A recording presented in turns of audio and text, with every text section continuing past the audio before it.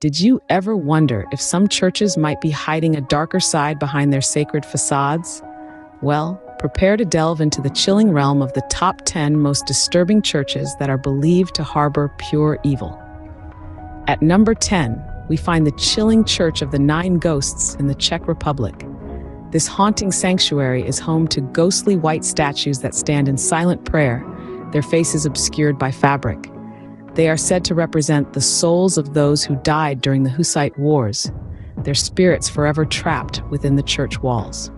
Sliding into number nine, we come across the eerie Sedlec ossuary in the Czech Republic. This small chapel beneath the Cemetery Church of All Saints is adorned with the bones of between 40,000 to 70,000 people, arranged in intricate designs and chandeliers. It's a macabre reminder of the impermanence of life and the inevitability of death.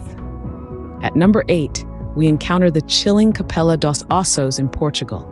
This chapel, whose walls are lined with the bones and skulls of 5,000 monks, bears the ominous warning, we bones that here are, for yours await. Number seven takes us to the disturbing sanctuary of Tophet in Tunisia. This ancient site, littered with thousands of urns containing the charred bones of children, is believed to have been a place of child sacrifice in ancient times. At number six, we find ourselves in the eerie St. George's Church in the Czech Republic. Abandoned after part of the roof collapsed during a funeral in 1968, it now houses a ghostly congregation of hooded statues said to represent the souls who've attended their own funerals. We've reached the halfway mark. At number five, we discover the chilling Veijo Ronkainen sculpture garden in Finland. While not a traditional church, this garden is filled with over 500 creepy statues, many of them depicting children in various poses of play and prayer. At number four, we delve into the terrifying Actun Tunichil Muknal cave in Belize. This natural cathedral was once used by the Maya for human sacrifices, and the remains of their victims can still be seen today. Number three brings us to the chilling catacombs of Paris. While not a church by traditional standards, these underground ossuaries hold the remains of more than six million people, their bones arranged in a macabre display of mortality.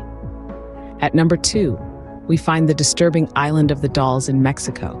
Again, not a traditional church, but this island is home to countless dolls hanging from trees, said to be an homage to a little girl who died there. Finally, at number one, we encounter the chilling Chapel of San Bernardino alle Ossa in Italy. This small chapel is decorated with the skulls and bones of plague victims, a grim reminder of the fragility of life. To recap, the top three most disturbing churches discussed were the Actun Tunichil Muknal Cave in Belize, the Catacombs of Paris, and the Chapel of San Bernardino alle Ossa in Italy. Each of these places, while different in their own right, share a common thread they all serve as chilling reminders of our mortality and the darker side of human history.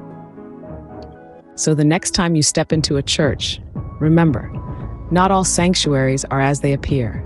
Some may be harboring secrets far darker than you could ever imagine.